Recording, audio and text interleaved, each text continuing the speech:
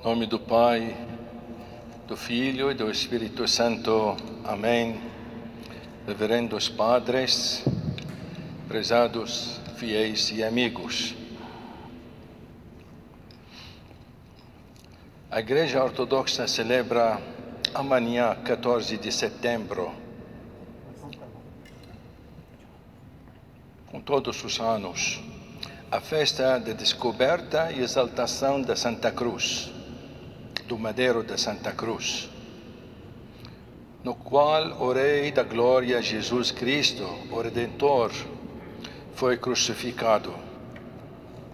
Hoje, dia 13, não é 14, por isso amanhã na igreja de Nossa Senhora, no centro, tem uma missa pela esta festa da Santa Cruz.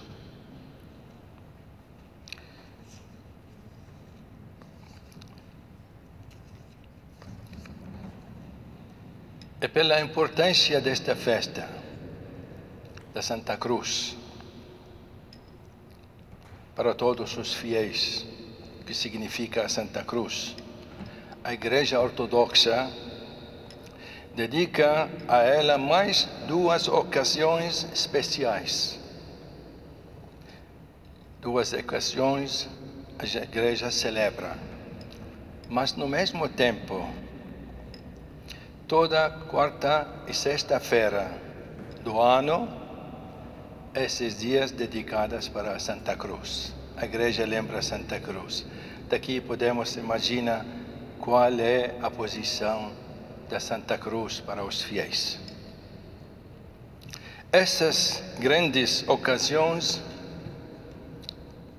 a primeira é o terceiro domingo da Quaresma. Lembramos na Quaresma tem uma festa, o terceiro domingo, no metade da Quaresma.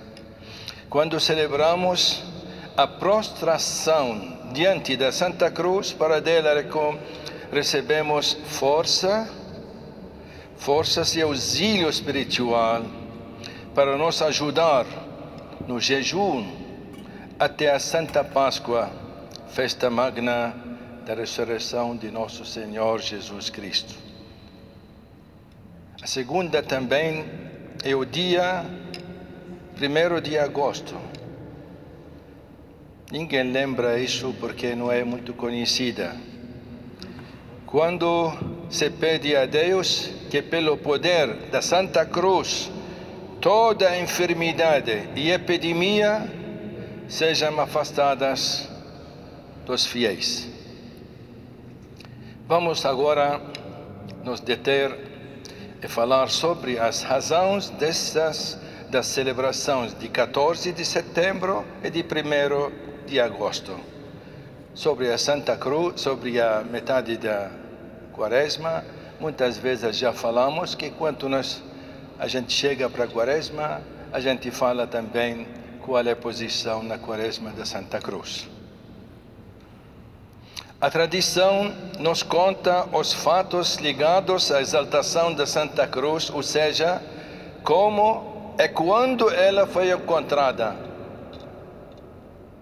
O primeiro fato referente à Santa Cruz se deu quanto ao imperador, imperador Constantino, se preparava para uma batalha decisiva contra seus inimigos. E durante a noite viu no céu o sinal da Santa Cruz, na forma de aura de luz, ao redor da qual estava a inscrição: Com este sinal vencerás. Ele então tomou a cruz como símbolo e mandou que fosse colocada nas bandeiras de seu exército. Como isso foi, na verdade, vitorioso na batalha contra seu inimigo. Desde aquele período, a Santa Cruz passou a ter um sentido especial para ele. No ano vigésimo do seu reinado, o imperador Constantino enviou uma delegação à Terra Santa, na Palestina. chefiada por sua piedosa mãe, Helena. Ele não estava no início cristão, ele era pagão. Esta delegação chefiada por sua piedosa Helena, que foi mãe muito piedosa, para que após averiguar cuidadosamente procurassem encontrar a cruz do Senhor. Chegou-se à conclusão de que ela estaria sob o templo pagão de Vênus em Jerusalém. Todo mundo fala este lugar onde tinha cruzes. Foram feitas escravações, encontrando-se três cruzes juntos, um do lado do outro. O que fez com que a imperatriz Helena ficasse preocupada com como se poderia saber qual delas era e de Jesus Cristo? Porque Jesus foi numa cruz, não em três cruzes. Ela recorreu então ao conselho do bispo da cidade naquele tempo, o bispo de Jerusalém, chamado Macarius. Exatamente naquela circunstância, passava naquela região um cortejo fúnebre. E o bispo pediu-lhes que parassem. Tocou o corpo do morto com uma cruz, com as cruzes, três cruzes, uma depois a outra. O que aconteceu? Aconteceu que ao ser o morto tocado por uma delas, seu espírito retornou, virou vivo. O que ali estavam ficaram todos estupefatos e souberam naquele momento qual era a cruz mesma do Senhor Jesus, a cruz vivificante. Nós falamos cruz vivificante que dá vida. A tradição eclesiástica nos conta também que uma mulher que estava à beira da morte,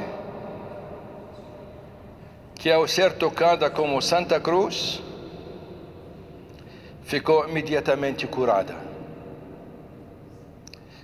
O bispo então tomou o madeiro da cruz e o levou alto por sua de sua cabeça, por cima de sua cabeça, abençoando com ele o povo com todo respeito e temor.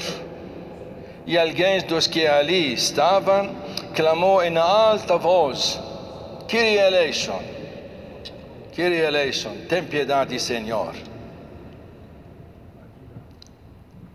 Em seguida, todos repitam várias vezes esta súplica, exaltando o poder de Jesus o Rei da Glória que havia sido crucificado.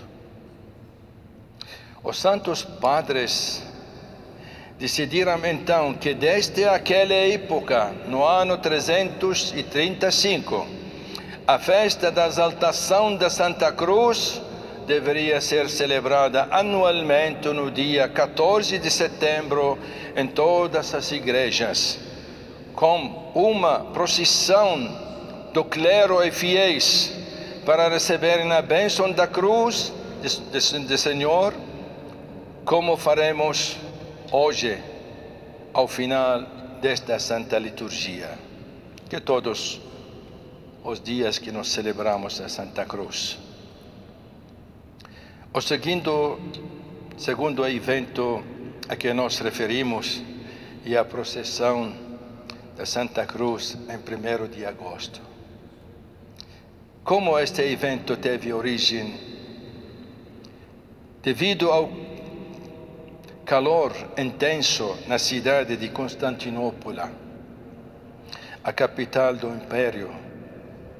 Em toda aquela região, no mês de agosto, se iniciou a tradição de fazer uma procissão com uma relíquia de Santa Cruz para abençoar a cidade e afastar as enfermidades do povo daquela região.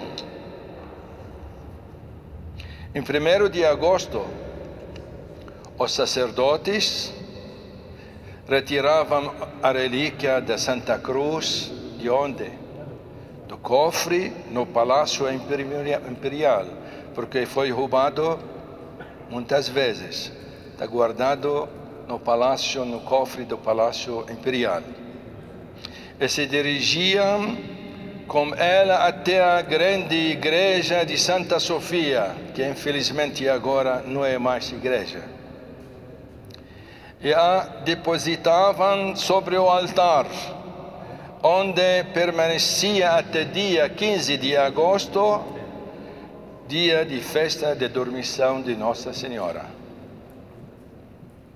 No segundo dia da festa, o bispo e os sacerdotes levam a relíquia, da Santa Cruz da igreja da Santa Sofia, fazendo grande procissão em toda a cidade.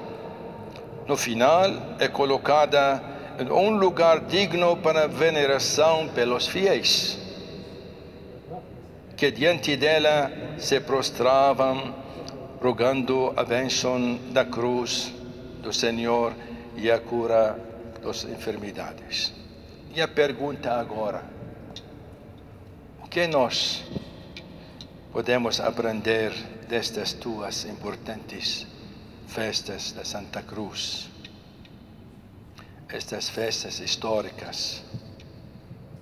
Pensamos bem. Se o madeiro da Santa Cruz se tornou para os fiéis fonte de cura das enfermidades, porque o Senhor foi crucificado nele. Quanto mais é para nós o próprio Senhor Jesus, mesmo que, foi, que santificou a cruz, que foi antes, a cruz foi antes de Jesus, um instrumento de castigo e não o instrumento de, da salvação.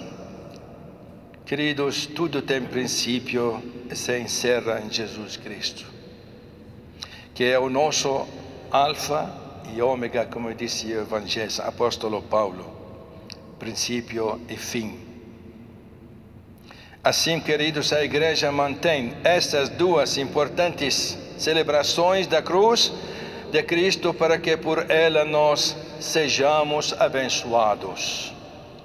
Não só presentes, vemos para receber a bênção. Queremos ainda chamar sua atenção para o fato de que esta festa não é simplesmente celebração de descoberta e exaltação da Santa Cruz. Apesar de isto ser muito importante, mas o mais importante é aquilo que foi realizado por Jesus a nosso favor na cruz, ou seja, a nossa salvação. E este é o motivo de nossa alegria. Por isso nós dizemos na Páscoa as seguintes palavras: Fiéis, vinde todos e glorifiquemos a santa ressurreição de Cristo, porque pela cruz veio, veio, veio o júbilo a todo o mundo.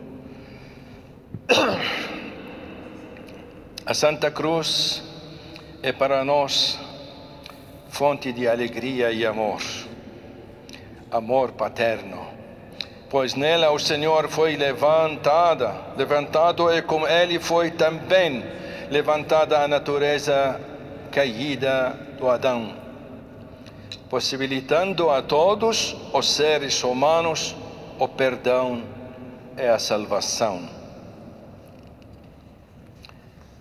Este é o amor verdadeiro representado pela Santa Cruz. Finalmente, nós aprendemos hoje o que é Santo madeiro da cruz de nosso Senhor cura enfermidades, ressuscita mortos, mas a nós foi dado muito mais. O próprio corpo e sangue de Jesus Cristo, que nos alimentam espiritualmente, trazendo cura para nossas almas e corpos, como Ele mesmo afirmou, dizendo no seu Evangelho: em verdade, em verdade eu vos digo, aquele que come meu corpo e bebe meu, meu sangue, permanece em mim e eu nele. Rogamos a Deus que fortaleça nossa fé e confiança nele. E em suas palavras santas, e nos torne dignos de nós dirigirmos a Ele de coração puro, pedindo-lhe coragem e destemor para nos aproximarmos dele, que é o Todo-Poderoso. Que Ele enche nossos corações com seu amor, que é a base para toda a construção perfeita, dizendo, como apóstolo São Paulo, longe esteja de mim glorificar-me, a não ser na cruz de nosso Senhor Jesus Cristo, pela qual o mundo está crucificado para mim e eu para o mundo. Epístola de Gálatas. Que a Santa Cruz que celebramos hoje brilha sobre todos nós, todos vocês, suas famílias, as suas vidas, concedendo-lhes com Jesus Cristo as vidas, suas vidas, vitória sobre todo o mal e toda adversidade. Em nome do Pai, do Filho, do Espírito Santo. Amém.